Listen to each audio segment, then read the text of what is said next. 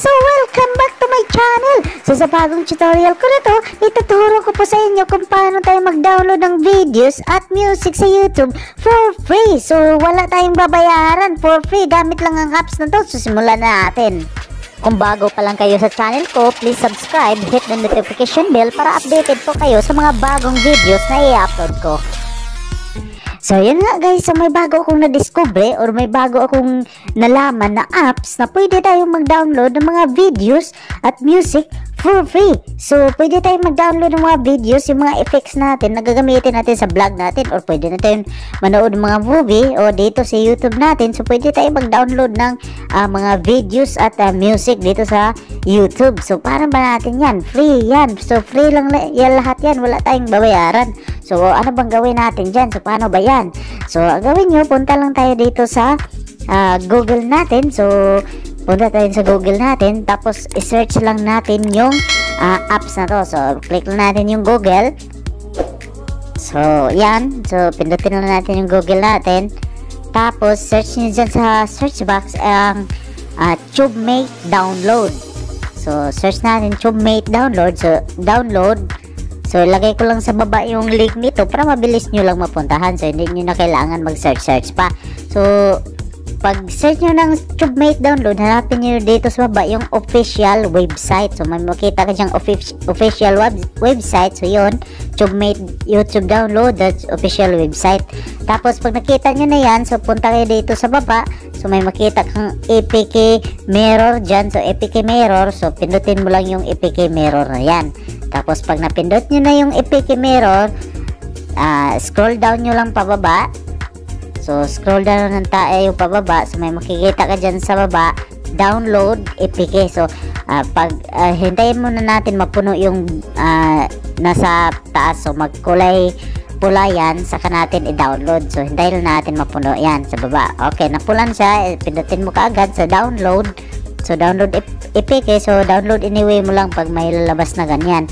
Tapos, downloading file na siya. So, pindutin mo lang yung details para makita mo yung uh, file na download doon sa Google Chrome natin. So, yan. So, downloading na yung files na yon So, yung TubeMate download. So, yan. Pag napuno na yan, pindutin mo lang.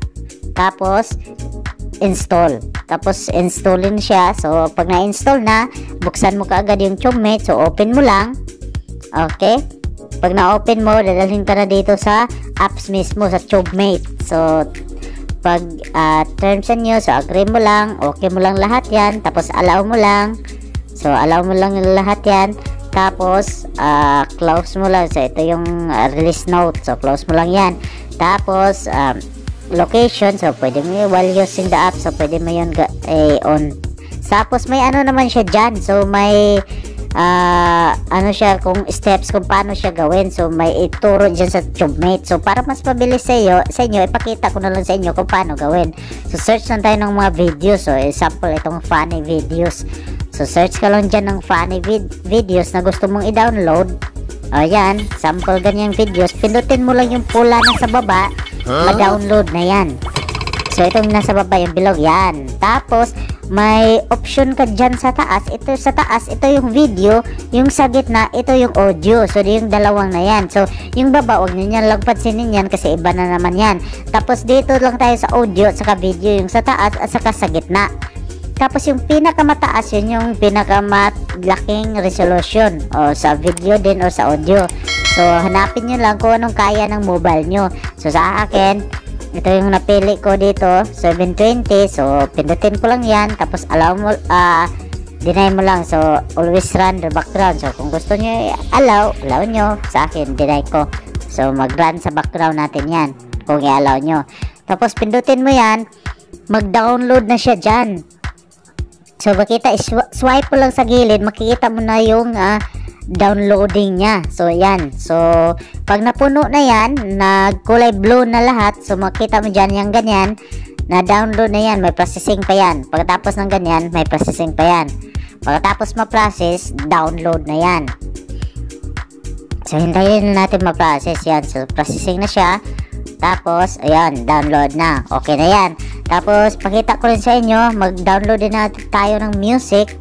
So, search lang natin yung gusto nating kanta or gusto nating music. So, sa akin, ito, search ko yung na ano bang kanta na ito ikaw ang ikaw ang dahilan. So tapos pindutin mo ang ikaw ang dahilan.